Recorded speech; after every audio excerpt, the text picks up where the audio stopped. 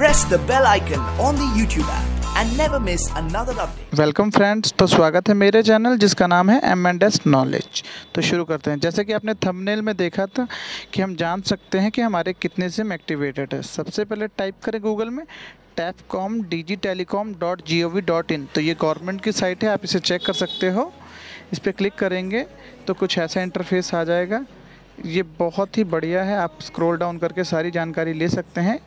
ये telecom authority के through आया है तो ये गवर्नमेंट की फुल मतलब रजिस्टर्ड वेबसाइट है, आप इसे कोई दिक्कत नहीं है।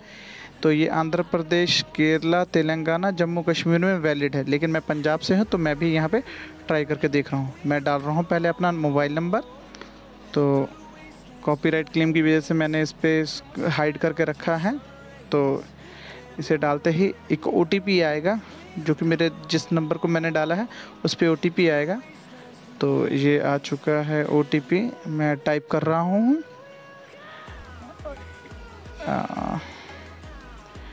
ये डाला मैंने ओटीपी तो ओटीपी डालने के बाद हमें करना होगा वैलिडेट पे क्लिक वैलिडेट करने के बाद ये हमारी डिटेल बता देगा कि हमारे नाम पे कितने सिम एक्टिवेटेड हैं इस समय।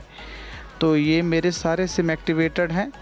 इस पर मैं क्लिक करके मैं ये जान सकता हूँ कि ये मैं इसे चाहूँ, अगर ये मेरा एक्टिवेट नहीं है मेरे पास तो मैं इसे बंद भी करा सकता हूँ। इस पर टिक करके रिपोर्ट कर दूँगा तो ये तीन से चार दिन में हमारा सिम बंद हो जाएगा।